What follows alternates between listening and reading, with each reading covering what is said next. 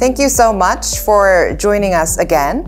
I can't believe this is our third interview on COVID 19. Thank you for uh, having me. And yes, it's the third one on COVID, and we are still in the middle of the pandemic. Right. Uh, there are still a lot of discussions on whether people should really be vaccinated. What does real world data tell us about how well vaccines protect against currently circulating variants?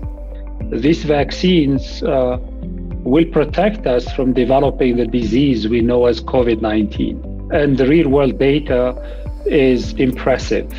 We have seen over 95% reduction in hospitalization of people who were vaccinated. However, uh, the design of all the vaccines currently available, they don't produce antibodies in the nose or in the mouth, which is uh, the primary entry point for the virus.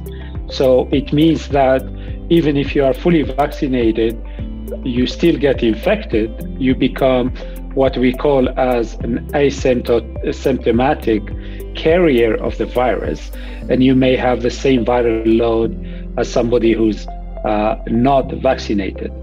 Uh, the difference is you're protected and you will not develop the disease. You might get a mild symptom similar uh, to the flu that most people get, you know, especially in this time of the year.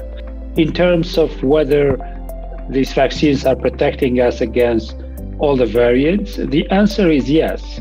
Uh, we haven't seen any increase in hospitalization of people who were fully vaccinated because of an appearance or a dominance of a strain.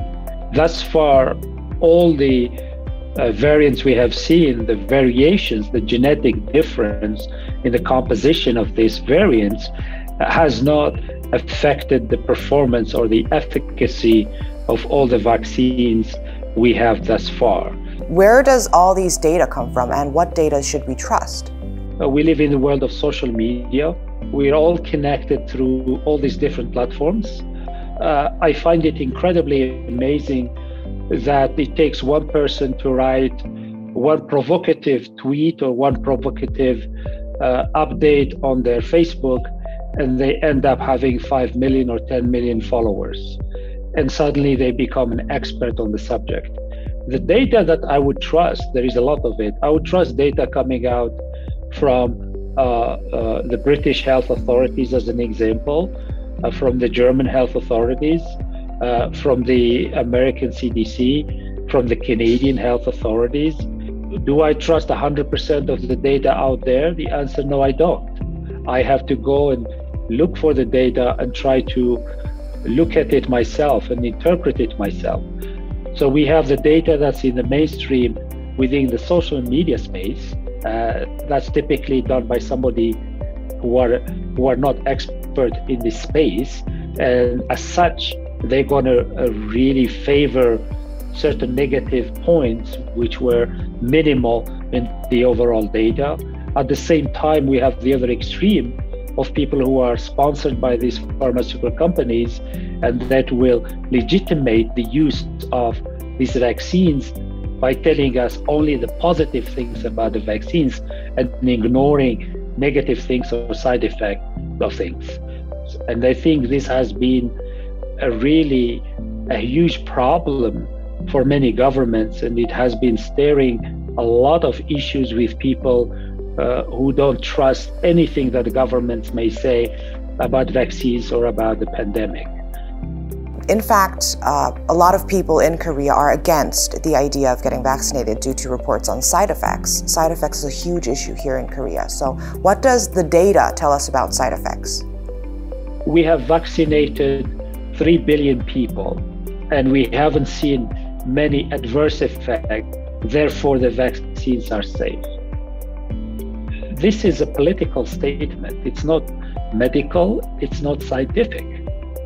A scientific statement, we always look for patient stratification, meaning that because we are genetically different, we may have different associated disease. We have to be very careful between vaccinating a healthy individual versus somebody, as an example, who has a history of hypertension in their family, or somebody who had meningitis when they were 12 years old. And I think this is what we are living.